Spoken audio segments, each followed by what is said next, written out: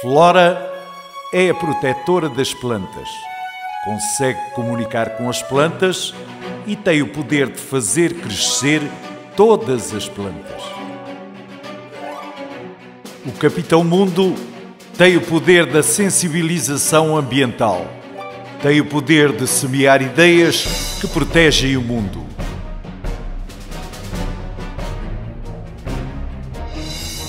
Amaralis é a protetora da fauna.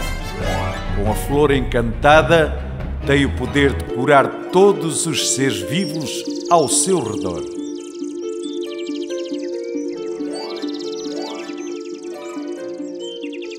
Super Negral é o protetor dos habitats. Quando toca a sua gaita de foles, a música protege todo o habitat.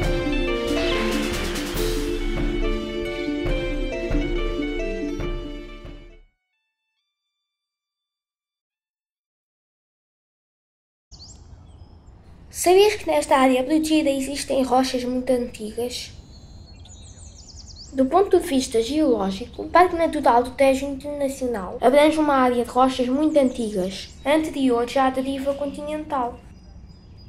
Geologicamente, esta zona chama-se Maciço Antigo. O maciço antigo é a unidade geomorfológica mais antiga em Portugal e também aquela que abrange maior área. É constituído por rochas muito antigas e de grande dureza, como os granitos, os xistos e os quartzitos.